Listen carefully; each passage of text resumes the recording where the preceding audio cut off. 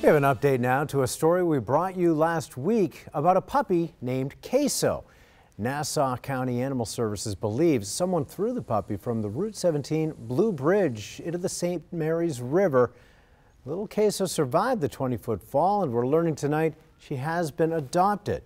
On your sides, Dawn White tells us about her new forever family. Queso is being adopted today. She gets to go home to her forever family. Oh my God. Hi, baby. Joe and Kay Catania drove six hours from Broward County for this moment. The couple saw the original story last week on First Coast News about Queso and instantly fell in love with the 11 week old puppy. Just coincidentally, he was scrolling on his phone and came across your art your story. And I, I said to her the next day, I said, I have a good feeling we're going to get this dog. The Catanias got the call Monday they would be Queso's adoptive family.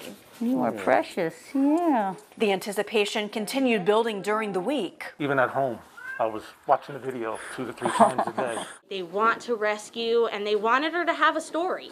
Um, they wanted her to be like a true rescue dog. Queso has been through a lot in her short life, but she is starting over and she has a lot of things waiting for her at her forever home. We went shopping yesterday.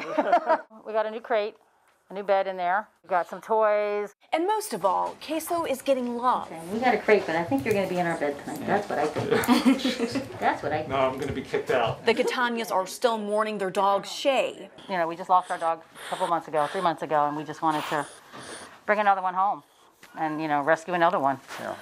And thank God he rescued her first, and you know, maybe she's rescuing us. Who knows? The love goes both ways. You're going home. Yeah. As Queso gets a new home and a new name, Blue, for her happy tale in life. Oh, oh, oh tail's oh. wagging. In Yulee, Dawn White, First Coast News, on your side.